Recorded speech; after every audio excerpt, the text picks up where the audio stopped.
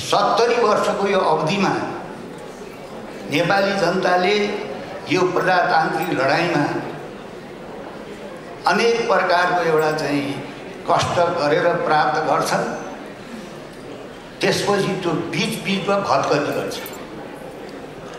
त्यसो हुनाले त्यो भत्कनी गरेको परिपाटीलाई प्रणालीलाई बारम्बार नेपाली जानतकै आन्दोलनबाट ठाउँमा चाहिँ ल्याउने चाहिँ काम हुन्छ र सञ्चार माध्यमले पनि देशको प्रजातान्त्रिक आन्दोलनमा अहम भूमिका खेलेको कुरा हामी सबैलाई थाहा छ। अब यो अहिलेको यो अहिलेको अवस्थामा के छ त नेपालको प्रजातान्त्रिक अवस्था? अहिलेको लोकतन्त्र गणतन्त्र धर्मनिरपेक्षता र देशको अहिलेको वास्तविक स्थिति के छ? के छ भने अब कुरा कुरा जस्तो कुरा गरौँ भने चित्त फाट्ने। नाच जस्तो नाच गरौँ भने घाँडी फाट्ने भन्थ्यो अरे एउटा त्यस्तै चाहिँ। अहिलेको जो स्थिति देशमा देखिएको छ वास्तवमा यो चाहिँ यो अहिलेको स्थिति त चाहिँ राम्रो होइन। एकाथरी साथीहरूले यसलाई राम्रो छ भनिरहनु भएको छ ठिक छ भनिरहनु भएको छ।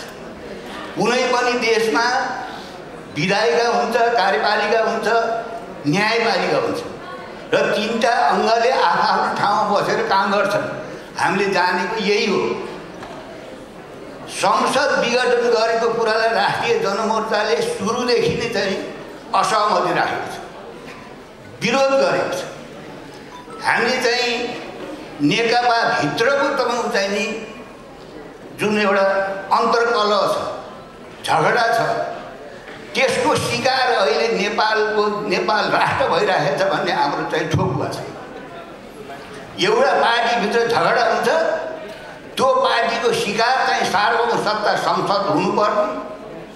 त्यो पार्टीको झगडाको कारणले तपाईँ चाहिँ नेपाली जनताले चाहिँ दुःख पाउनुपर्ने र बारम्बार अस्थिरता भोग्नुपर्ने। यी सबै तपाईँको चाहिँ गल्ती कमजोरी हामीले सच्याएर बहत्तर सालको संविधानमा अहिले आएको स्थिति आउनु नदिने नै व्यवस्था गरेको थियो। तर त्यो भएन। संसद विघटन गर्नुपर्ने औचित्य नेकपाभित्रको झगडा मुख्य कारण।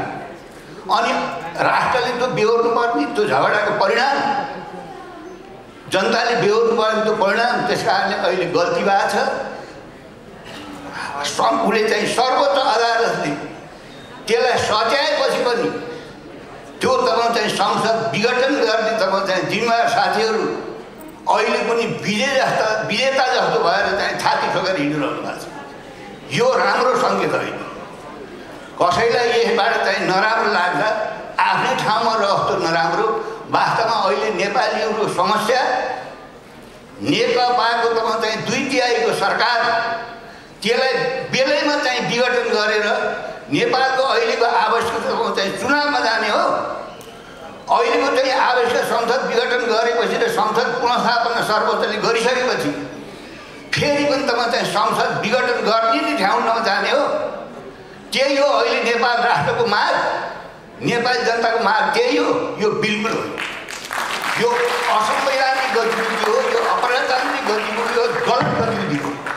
त्यस कारणले राष्ट्रिय जनमोर्चाले नेकपालाई पुस पाँच गतिसम्म समर्थन दिएको थियो नेपाल नेकपालाई जब साथीहरूले पार्टीभित्रको अन्तर्कल समस्यालाई समाधान गर्न नसकेर संसद विघटन गर्नुभयो यसबाट अहिले संसद विघटन गरेको पनि एक महिनामा बढी भयो।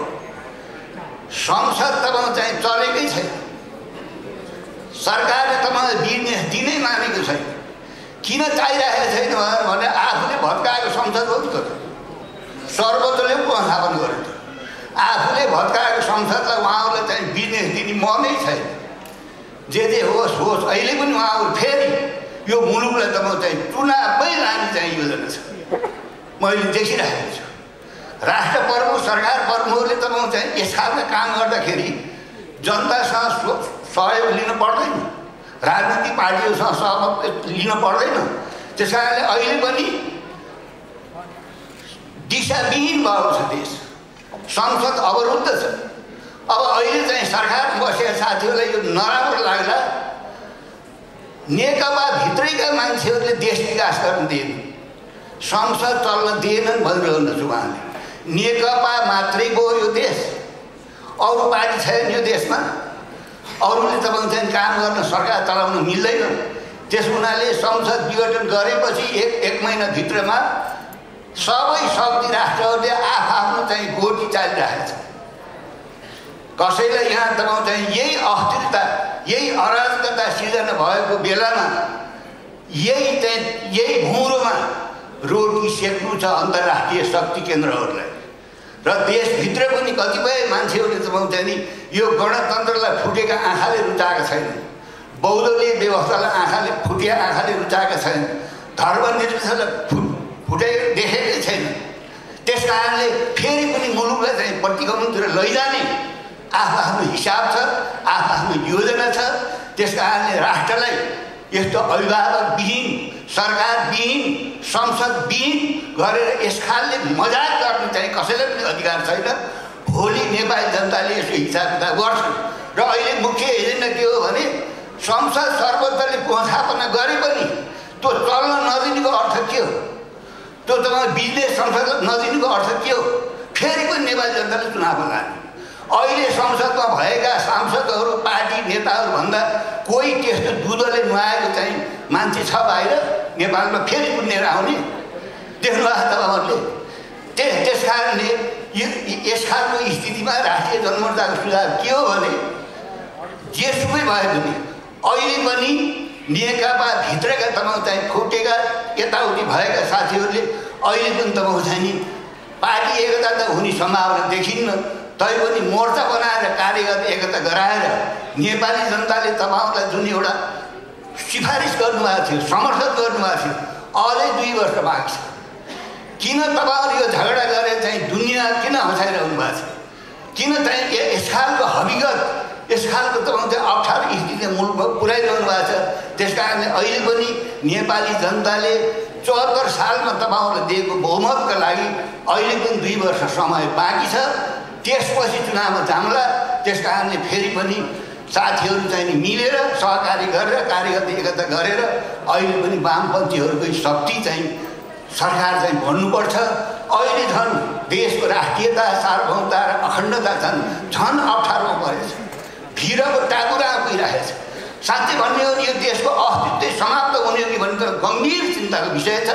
त्यस कारणले यो स्थितिमा मलाई चाहिँ चिट आइसकेको छ र यो देशको राष्ट्रियता सार्वभौमता र अखण्डतालाई सौदाबाजी गरेर सत्तामा बस्ने होइन। यसको रक्षा गरेर राष्ट्रको रक्षा गरेर जनताको रक्षा गरेर हामीले राजनीति गर्नुपर्छ देश चलाउनुपर्छ। आजको यो कार्यक्रममा रिपोर्टर्स क्लबले बोलाएर राष्ट्रिय जनमोर्चालाई पनि मौका दियो। अहिले यो आठ ठाउँको लडाइँ पहिले सिंहदरबारभित्र हुन्थ्यो अहिले यो आठ ठाउँको किनबेच आठ ठाउँको खरिद बिक्री यसलाई बन्द हुनुपर्छ। यति भन्दै यहाँ बिदा हुनु धन्यवाद।